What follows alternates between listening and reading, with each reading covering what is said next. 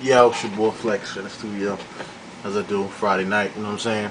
Um, mixing a joint for Diddy, Last Train, to Paris or whatever, just got done this joint, whatever. So, y'all check it out.